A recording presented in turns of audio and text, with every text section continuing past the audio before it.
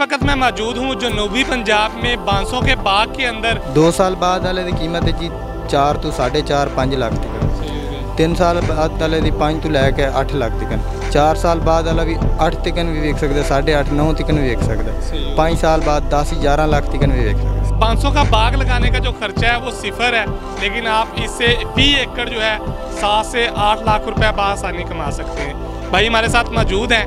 आइए इनसे जानते हैं कि बाग लगाने का तरीका क्या है और इसकी एहतियाती तदाबीर क्या है इसको खास स्प्रे कौन कौन सी इस्तेमाल की जाती है अस्सलाम वालेकुम ਵਾਲੇਕੁਮ ਸਲਾਮ ਵਾਂਸ ਲਗਾਇਆ ਜਾਂਦਾ ਵਾ ਇਹ ਇਹਦੇ ਵਾਸਤੇ ਸਭ ਤੋਂ ਪਹਿਲੇ ਜ਼ਮੀਨ ਕਿਸ ਤਰ੍ਹਾਂ ਤਿਆਰ ਕੀਤੀ ਜਾਂਦੀ ਜ਼ਮੀਨ ਐਵੇਂ ਤਿਆਰ ਕੀਤੀ ਜਾਂਦੀ ਯਾਨੀ ਕਿ ਜਿਵੇਂ ਦੂਸਰੇ ਫਸਲਾਂ ਦੀ ਤਿਆਰ ਕਰੀਦੀ ਉਵੇਂ ਤਿਆਰ ਕਰਨੀ ਹੈ ਹੂੰ ਬਾਕੀ ਕੋਈ ਇਹਦਾ ਮਤਲਬ ਲੈ ਦਾ ਮਸਲਾ ਨਹੀਂ ਹੈ ਕੋਈ ਖੇਲਾਂ ਪਾਣੀਆਂ ਪੈਂਦੀਆਂ ਜਾਂ ਪਲੇਨ ਜ਼ਮੀਨ ਵੈਸੇ ਪਲੇ ਜ਼ਮੀਨ ਕਰਨੀ ਸਹੀ ਹੋ ਗਿਆ ਤੇ ਰੂਟਰ ਮਾਰ ਦਿਓ ਜਾਂ ਹਲ ਮਾਰ ਦਿਓ ਆਮ ਰੂਟਰ ਮਾਰ ਦੋ ਹਲ ਮਾਰ ਦੋ ਜੋ ਮਾਰ ਸਹੀ ਹੋ ਗਿਆ ਤੇ ਇਹ ਉਸ ਤੋਂ ਬਾਅਦ ਪੌਦਾ ਲਗਾਇਆ ਜਾਂਦਾ ਵਾ ਜਾਂ ਕੋਈ ਬੀਜ ਲਗਾਇਆ ਜਾਂਦਾ? ਪੌਦਾ ਲਗਾਇਆ ਜਾਂਦਾ ਵਾ। ਪੌਦਾ ਲਗਾਇਆ ਜਾਂਦਾ ਵਾ। ਹਾਂਜੀ। ਸਹੀ ਹੋ। ਗਿਆ ਤੇ ਮੈਨੂੰ ਦੱਸਿਓ ਕਿ ਫੀ ਪੌਦਾ ਤਕਰੀਬਨ ਕਿੰਨੇ ਦਾ ਮਿਲ ਜਾਂਦਾ ਵਾ? ਇਹ 250 ਤੋਂ 300 ਤੱਕ ਮਿਲ ਜਾਂਦਾ ਵਾ। 250 ਤੋਂ ਕਿਹੜੀ ਜਗ੍ਹਾ ਤੋਂ ਮਿਲਦਾ? ਇਹ ਪੱਤੋ ਕੀ ਤੋਂ ਆਮ ਮਿਲ ਜਾਂਦਾ ਵਾ। ਸਹੀ ਹੋ ਗਿਆ। ਤੇ ਮੈਨੂੰ ਦੱਸਿਓ ਕਿ ਪੌਦੇ ਤੋਂ ਪੌਦਾ ਫਾਸਲਾ ਕਿੰਨਾ ਰੱਖਿਆ ਜਾਂਦਾ ਵਾ? ਫਾਸਲਾ 11 ਸੇ 12 ਫੁੱਟ। 11 ਤੋਂ 12 ਫੁੱਟ। ਹਾਂਜੀ। ਸਹੀ ਹੋ ਗਿਆ। ਅੱਛਾ ਮੈਨੂੰ ਦੱਸਿਓ ਅੰਸਰ ਭਾਈ ਕਿ ਇਹ ਜਿਹੜਾ ਪੌਦਾ ਵਾ ਇਹ ਆਪਾਂ ਲਗਾਈਦਾ ਵਾ। ਇਹਦੇ ਚੋਂ ਸਿਰਫ ਇੱਕ ਹੀ ਵਾਂਸ ਨਿਕਲਦਾ ਕਿ ਅਸੀਂ ਦੇਖਦੇ ਹਾਂ ਕਿ ਜਾੜੀ ਨੂਮਾ ਪੌਦਾ ਬਣ ਜਾਂਦਾ ਵਾ ਕਿ ਕਿੰਨੇ ਹੀ ਵਾਂਸ ਨਿਕਲੇ ਹੁੰਦੇ ਪਹਿਲੇ ਇੱਕ ਹੀ ਨਿਕਲੇਗਾ ਇੱਕ ਸਾਲ ਇੱਕ ਇੱਕ ਨਿਕਲੇਗਾ ਦੂਸਰੇ ਸਾਲ ਫਿਰ ਬਹੁਤ ਨਿਕਲੇਗਾ। ਜਦੋਂ ਇਹਦੀ ਇੱਕ ਵਾਰੀ ਕਟਾਈ ਹੋਏਗੀ ਫਿਰ ਬਹੁਤ ਨਿਕਲੇਗਾ। ਫਿਰ ਜਿਵੇਂ ਜਿਵੇਂ ਕਟਾਈ ਹੁੰਦੀ ਜਾਵੇ ਉਵੇਂ ਉਵੇਂ ਇਹਨੇ ਵਧਿਆ ਜਾਣਾ। ਸਹੀ ਹੋ ਗਿਆ। ਤੇ ਤਕਰੀਬਨ 1 ਏਕੜ ਦੇ ਵਿੱਚ ਕਿੰਨੇ ਪੌਦੇ ਲੱਗ ਜਾਂਦੇ ਆ? 80 90 ਪੌਦਾ ਲੱਗ ਜਾਂਦਾ। ਯਾਨੀ 28 ਤੋਂ 30 ਹਜ਼ਾਰ ਰੁਪਏ ਫੀ ਏਕੜ ਤੇ ਖਰਚਾ ਹਾਂਜੀ 28 30 ਹਜ਼ਾਰ ਖਰਚਾ ਆ ਜਾਂਦਾ। ਸਹੀ ਹੋ ਗਿਆ। ਅੱਛਾ ਅੰਸਰ ਵੀ ਦੱਸਿਓ ਕਿ 28 ਤੋਂ 30 ਹਜ਼ਾਰ ਰੁਪਏ ਖਰਚਾ ਉਸ ਤੋਂ ਬਾਅਦ ਇਹਦੇ ਉੱਪਰ ਕੀ ਖਰਚਾ ਵਾ? ਮਿਸਾਲ ਦੇ ਤੌਰ ਤੇ ਖਾਦ ਸਪਰੇ ਇਸ ਤਰ੍ਹਾਂ ਦੀਆਂ ਬਿਮਾਰੀਆਂ ਨਾਲ ਕੋਈ ਦਵਾਈਆਂ ਇਸਤੇਮਾਲ ਕਰਨ ਵਾਸਤੇ? ਬਿਮਾਰੀ ਤਾਂ ਇਹਨੂੰ ਕੋਈ ਲੱਗਦੀ ਨਹੀਂ। ਅੱਜ ਤੱਕ ਕਹਿੰਦਾ ਅਸੀਂ ਨਹੀਂ ਸੁਣਿਆ ਵੀ ਇਹਨੂੰ ਕੋਈ ਬਿਮਾਰੀ ਲੱਗੀ ਤੇ ਦੂਸਰੀ ਗੱਲ ਇਹਦੇ ਖਰਚੇ ਦੀ। ਖਰਚਾ ਇਹਦੇ ਜਦੋਂ ਇਹਨੂੰ ਤੁਸੀਂ ਗੱਡਣਾ ਹੈ ਯਾਨੀ ਕਿ ਬੀਜਣਾ ਹੈ ਉਸ ਟਾਈਮ ਇਹਦੇ ਚ ਹੋਰ ਵੀ ਫਸਲ ਤੇ ਕੱਢ ਸਕਦੇ ਹੋ। ਹੋਰ ਫਸਲ ਕੱਢਣੀ ਹੈ ਤੁਸੀਂ ਉਹਦੇ ਵਾਲਾ ਹਿਸਾਬ ਕਰਕੇ ਇਹਦਾ ਖਰਚਾ ਬਿਲਕੁਲ 1 ਰੁਪਏ ਦਾ ਵੀ ਨਹੀਂ ਹੈਗਾ। ਕਿਉਂਕਿ ਜਦੋਂ ਤੁਸੀਂ ਹੋਰ ਫਸਲ ਚੁੱਕਣੀ ਹੈ ਉਹ ਤੁਸੀਂ ਖਰਚਾ ਹੀ ਲਾ ਲਵੋ ਨਾ। ਤੇ ਇਹਦੇ ਤੇ ਖਰਚਾ ਨਹੀਂ ਹੈਗਾ ਮੇਰੇ ਹਿਸਾਬ।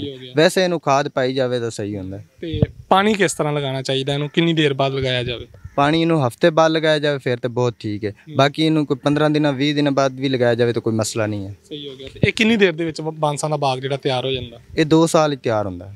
ਤੇ ਅਗਰ ਤੁਸੀਂ ਦੱਸ ਰਹੇ ਸੀਗੇ ਕਿ 2 ਸਾਲ ਤੋਂ ਵੱਧ ਜਾਵੇ ਤੇ ਮਜ਼ੀਦ ਮਹਿੰਗਾ ਵਿਕਦਾ। ਹਾਂਜੀ ਅਗਰ 3 ਸਾਲ ਤੱਕ ਹੋ ਜਾਵੇ ਫਿਰ ਹੋਰ ਮਹਿੰਗਾ ਵਿਕਦਾ ਹੈ। 4 ਸਾਲ 5 ਸਾਲ ਤੱਕ ਜਿੰਨਾ ਵੀ ਅੱਗੇ ਜਾਏਗਾ ਉਹਨਾਂ ਮਹਿੰਗਾ ਵਿਕੇਗਾ ਯਾਨੀ ਕਿ ਮੋਟਾ ਹੋਏਗਾ ਲੰਮਾ ਵੀ ਹੋਏਗਾ ਪੱਕਾ ਵੀ ਹੋਏਗਾ ਸਾਰੇ ਕੰਮ ਹੋਣਗੇ। ਸਹੀ ਹੋ ਗਿਆ। ਤੇ ਅੱਛਾ ਮੈਨੂੰ ਦੱਸਿਓ ਕਿ 3-4 ਸਾਲ ਬਾਅਦ ਜਿਹੜਾ ਵਿਕਦਾ ਵਾ ਬਾਗ ਤਕਰੀਬਨ 2 ਸਾਲ ਬਾਅਦ ਜਿਹੜਾ ਵਿਕਦਾ ਉਹ ਕਿੰਨੇ ਦਾ ਵਿਕਦਾ? 3 ਸਾਲ ਬਾਅਦ ਵਿਕਦਾ ਉਹ ਕਿੰਨੇ ਦਾ ਵਿਕਦਾ? 4 ਸਾਲ ਬਾਅਦ ਕਿੰਨੇ ਦਾ ਵਿਕਦਾ? 2 ਸਾਲ ਬਾਅਦ ਵਾਲੇ ਦੀ ਕੀਮਤ ਹੈ ਜੀ 4 ਤੋਂ 4.5 5 ਲੱਖ ਤੱਕ ਸਹੀ ਹੋ ਗਿਆ। 3 ਸਾਲ ਬਾਅਦ ਵਾਲੇ ਦੀ 5 ਤੋਂ ਲੈ ਕੇ 8 ਲੱਖ ਤੱਕ 4 ਸਾਲ ਬਾਅਦ ਵਾਲਾ ਵੀ 8 ਤੱਕ ਵੀ ਵੇਚ ਸਕਦਾ 8.5 9 ਤੱਕ ਵੀ ਵੇਚ ਸਕਦਾ। ਸਹੀ ਹੋ 5 ਸਾਲ ਬਾਅਦ 10 11 ਲੱਖ ਤੱਕ ਵੀ ਵੇਚ ਸਕਦਾ। ਸਹੀ ਹੋ ਗਿਆ। ਹਾਂਜੀ। ਤੇ ਇਹ ਤਕਰੀਬਨ ਇਹਦੀ ਲਾਈਫ ਕਿੰਨੀ ਹੈ? ਜ਼ਿੰਦਗੀ ਇਹਦੀ ਕਿੰਨੀ ਹੈ? ਇੱਕ ਵਾਰੀ ਲਗਾਉਣ ਤੋਂ ਬਾਅਦ ਬੰਦਾ ਕਿੰਨੀ ਦੇਰ ਬਾਅਦ ਇਹ ਦੁਬਾਰਾ ਲਗਾਉਣਾ ਪੈਂਦਾ? ਇਹ ਜਨਾਬ ਦੁਬਾਰਾ ਖਤਮ ਹੀ ਨਹੀਂ ਹੁੰਦਾ। ਸਹੀ ਸਹੀ। ਇਹਦੀ ਲਾਈਫ ਹੀ ਲਾਈਫ ਇਹਦੀ ਜ਼ਿੰਦਗੀ ਕੋਈ ਮਤਲਬ ਖਤਮ ਨਹੀਂ ਹੁੰਦਾ ਹੈ ਹੂੰ। ਦੂਸਰੇ ਪੌਦਾਂ ਤਰ੍ਹਾਂ ਇਹ ਉਜੜ ਨਹੀਂ ਜਾਂਦਾ ਇਹਨੂੰ ਜਿੰਨਾ ਵੀ ਲੈ ਜਾਓ ਤੁਸੀਂ ਖੁਦ ਹੀ ਇਹਨੂੰ ਪਟਣਾ ਤਾਂ ਪਟਣਾ। ਬਾਕੀ ਕੋਈ ਇਹਦੇ ਚ ਬਿਮਾਰੀ ਵਗੈਰਾ ਕੋਈ ਨਹੀਂ ਆਉਂਦੀ। ਸਹੀ ਹੋ ਗਿਆ। ਅੱਛਾ ਮੈਨੂੰ ਦੱਸਿਓ ਕਿ ਇਹਦੀ ਕੋਈ ਗੋਡੀ ਛੋਡੀ ਵੀ ਕਰਨੀ ਪੈਂਦੀ? ਨਹੀਂ ਗੋਡੀ ਵਗੈਰਾ ਕੋਈ ਵੀ ਨਹੀਂ ਕਰਨੀ ਪੈਂਦੀ। ਵੈਸੇ ਵੀ ਇਹਦੇ ਗੋਡੀ ਆਪੇ ਹੀ ਹੋ ਜਦੋਂ ਫਸਲ ਤੁਸੀਂ ਹੋਰ ਕੱਢਣੀ ਹੈ ਤਾਂ ਗੋਡੀ ਆਪੇ ਹੀ ਹੋ ਜਾਂਦੀ ਬਾਕੀ ਜ਼ਰੂਰੀ ਨਹੀਂ ਇਹਦੀ। ਸਹੀ ਹੋ ਗਿਆ। ਅੱਛਾ ਮੈਨੂੰ ਦੱਸਿਓ ਕਿ ਇਹ ਵਾਂਸ ਅਸੀਂ ਦੇਖਿਆ ਵਾ ਕਿ ਇੱਕ 11 ਬਾਈ 11 ਤੁਸੀਂ ਕਿਹਾ ਕਿ ਇੱਕ ਪੌਦਾ ਲੱਗਦਾ ਤੇ ਹੁਣ ਇੱਕ ਜਗ੍ਹਾ ਦੇ ਉੱਤੇ ਤਕਰੀਬਨ 15 20 ਵਾਂਸ ਲੱਗੇ ਹੋਏ ਆ। ਤੇ ਆਹਿਸਤਾ ਆਹਿਸਤਾ ਜਿਹੜੀ 11 ਬਾਈ 11 ਦੀ ਜਗ੍ਹਾ ਇਹ ਵੀ ਫਿਲ ਹੁੰਦੀ ਜਾਏਗੀ। ਨਹੀਂ ਇੰਨੀ ਜ਼ਿਆਦਾ ਨਹੀਂ ਹੁੰਦੀ। ਹੂੰ। ਜਾਂਦੀ ਹੈ ਲੇਕਿਨ ਇੰਨੀ ਨਹੀਂ ਹੁੰਦੀ। ਜਗ੍ਹਾ ਫੁੱਲ ਬਚ ਜਾਂਦੀ ਹੈ। ਸਹੀ ਹੋ ਗਿਆ। ਯਾਨੀ ਕਿ ਵੇਖ ਰਹੇ ਜੇ ਨਾ ਤੁਸੀਂ ਇਹ ਬਾਗ ਇਹਨੂੰ ਵੇਖਿਆ ਜੇ ਤੁਸੀਂ ਕਿ 5-7 ਫੁੱਟ ਜਗ੍ਹਾ ਬਚੀ ਹੈ। ਸਹੀ ਹੋ ਗਿਆ। ਇੰਨੀ ਬਚ ਜਾਂਦੀ ਹੈ ਜਗ੍ਹਾ। ਬਸ ਇੰਨਾ ਹੀ ਵਾਧਾ ਯਾਨੀ ਕਿ ਇੰਨਾ ਵੀ ਇਹ ਨਹੀਂ ਕਿ ਵੀ ਸਾਰੀ ਉਮਰ ਵਾਧਾ ਹੀ ਵਾਧਾ ਰਹਿਣਾ। ਕਮ ਅਸ ਕਮ ਸ ਤੁਸੀਂ ਇੱਕ ਵਾਰੀ ਪੌਦਾ ਲਾਣਾ ਹੈ ਤੇ 3 ਸਾਲ ਬਾਅਦ 4 ਸਾਲ ਬਾਅਦ ਜਦੋਂ ਉਹਨੇ ਫੁੱਲ ਤਿਆਰ ਹੋਣਾ ਯਾਨੀ ਕਿ ਉਹਦੇ ਵਿੱਚ ਇੱਕ ਪੌਦੇ ਦੇ ਵਿੱਚ ਤੁਸੀਂ ਇੱਕ ਲਾਓਗੇ ਨਾ ਤਾਂ ਉਹਦੇ ਵਿੱਚ ਕਮ ਅਸ ਕਮ 100 ਪੀਸ ਹੋਏਗਾ। ਸਹੀ ਹੋ ਗਿਆ। 120 ਵੀ ਪੀਸ ਹੋ ਸਕਦਾ ਹੈ 60 70 ਵੀ ਹੋ ਸਕਦਾ ਹੈ ਇਸ ਤਰ੍ਹਾਂ ਵਾਂਸ। ਹਾਂਜੀ। ਠੀਕ ਹੋ ਗਿਆ। ਇੱਕ ਵਾਂਸ ਆਏਗਾ। ਇਹਦੇ ਤੋਂ ਬਾਅਦ ਯਾਨੀ ਕਿ ਬਸ 100 ਪੀਸ ਹੋਏਗਾ ਜਾਂ 110 ਹੋਏਗਾ ਇਹਦੇ ਤੋਂ ਜ਼ਿਆਦਾ ਨਹੀਂ ਵਧਣਾ ਉਹਨੇ ਬਸ।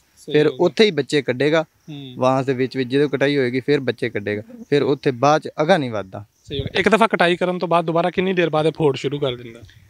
ਇੱਕ ਦਫਾ ਕਟਾਈ ਕਰ ਦਿੱਤੀ ਉਹਨੂੰ ਜਦੋਂ ਇੱਕ ਟੱਕ ਕਟਾਈ ਹੁੰਦੀ ਹੈ ਉਹਦੇ ਬਾਅਦ ਇਹ ਤਕਰੀਬਨ ਮਹੀਨੇ ਡੇਢ ਬਾਅਦ ਸ਼ੁਰੂ ਕਰ ਦਿੰਦਾ ਹੈ। ਸਹੀ ਹੋ ਕਟਾਈ ਤੋਂ ਬਾਅਦ ਤੁਸੀਂ ਅਗਲੀ ਫਸਲ ਵੀ ਲਾ ਸਕਦੇ ਹੋ। ਲਾ ਸਕਦੇ ਹੋ। बहुत शुक्रिया जी तो नाजरीन। अंसर भाई हमारे साथ मौजूद थे, जो कि मुकम्मल मालूम जो इस बाँस लगाने के बाकी हमें दे रहे थे। फ़ी एकड़ जो है अस्सी से नब्बे पौधे लगाए जाते हैं, जिनमें दरमियानी फासला जो है वो 11 फुट पौधे से पौधा जो रखा जाता है।